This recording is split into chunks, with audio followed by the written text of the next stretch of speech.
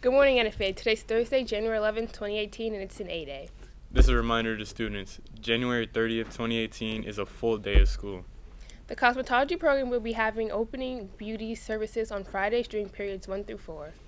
The NFA Zero Waste Club is composting. Please separate the cafeteria waste accordingly. Remember, plastics and foil go in one bin. Food, paper, and napkins go in another bin. And trash goes in the third bin. Thank you. Students, please take the district survey.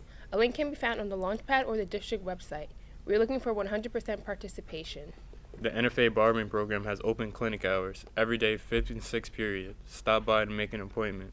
No appointments will be made during class time, and no late passes will be given. Haircuts, edge ups, eyebrows, fades, and shaves for free.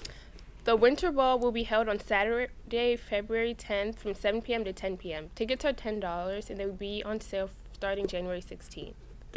There will be a DJ and a photo booth. Dressed to impress or semi formal, it will be at NFA main campus.